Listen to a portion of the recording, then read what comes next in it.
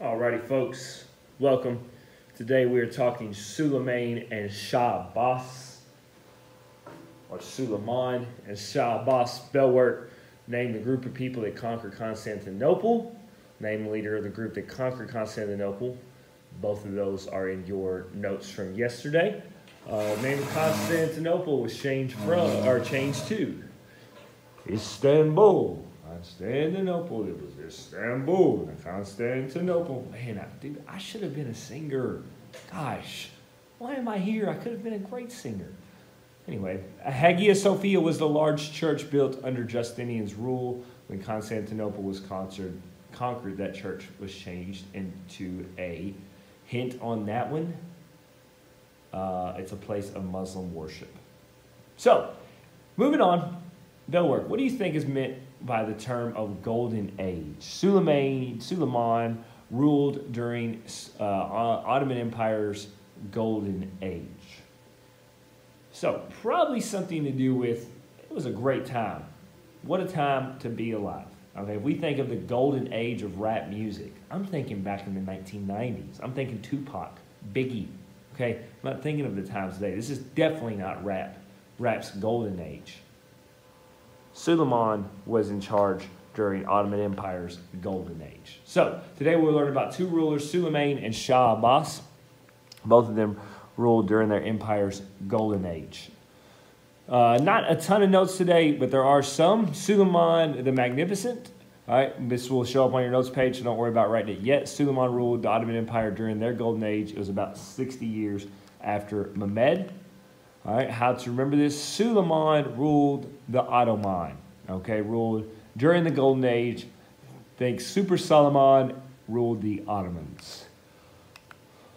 So again, this is uh, modern day Turkey, Istanbul, which was Constantinople.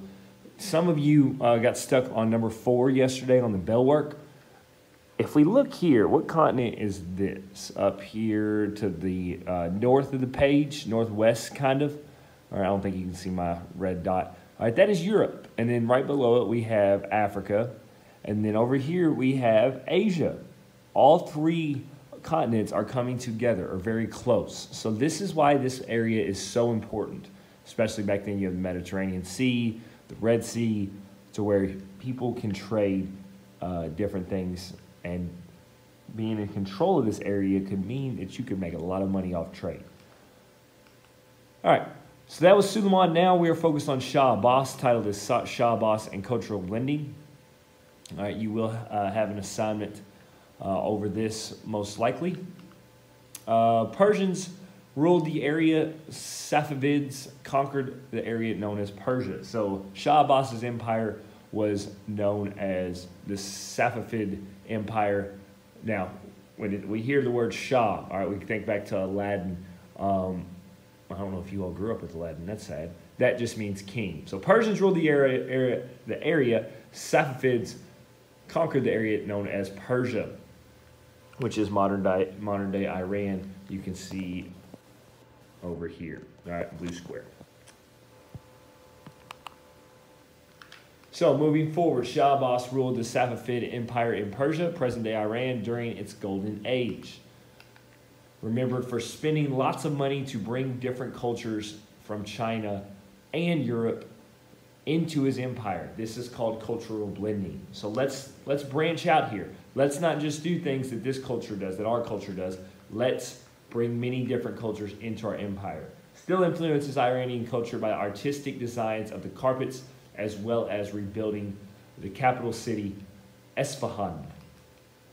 Okay, so all of this here is inspired when you're talking about the architecture and uh, different designs of buildings, um, the patterns on carpet, patterns on the buildings. All of this was uh, sponsored or thought up by Shah Abbas. All right, so uh, you can go to Iran or some other Middle Eastern countries today and the artistic designs of the carpets and the buildings were from that. Okay, so just more examples of that here. Carpets, I almost started singing Magic Carpet Ride from Aladdin, but I didn't want to torture you all too much. All right, so we're not going to do the writing assignment, but if we did look at Shah Abbas's policies on cultural bleeding, or cultural blending, cultural bleeding would be bad. His policies of cultural blending to a golden age. Discuss the carpets, how the help blending empire uh, helped his empire trade with European countries. Okay, if you're more open to certain people's culture, they're going to be more likely to do business with you. So, uh, if we talk about discuss how the cultural blending help empire produce and sell more carpets, right? If you're willing to trade with someone else, or if you're willing to say, "Hey, we're different, but let's still do, let's still make this deal. Let's still kind of help each other out," or uh, you make money off of me, I scratch your back, you scratch mine, that type of thing.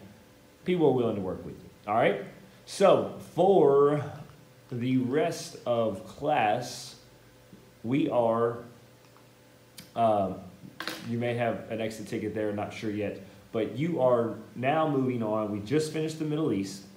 So we talked about the spread of Islam, Muslim contributions, Mehmed, Suleiman, Suleiman, and Shah Abbas.